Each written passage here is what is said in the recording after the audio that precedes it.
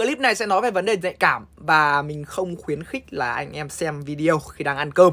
Mình không biết là bây giờ ở Việt Nam các bạn nữ hoặc là các bạn nam đi mua bong vệ sinh thì nó như thế nào. Nhưng mà cái hồi mà mình ở Việt Nam ấy thì mỗi một lần đi mua băng vệ sinh cho mẹ mình nó là một cái cực hình.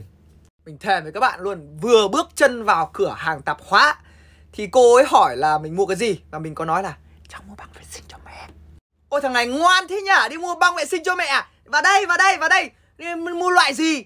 Đúng kiểu này luôn.